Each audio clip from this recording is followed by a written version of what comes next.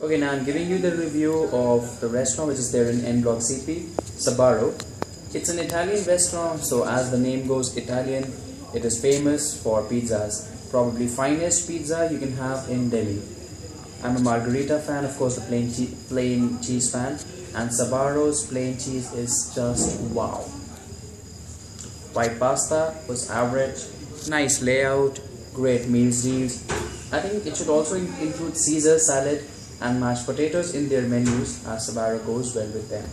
So the cost for meal for two people would roughly be around 500. That's enough.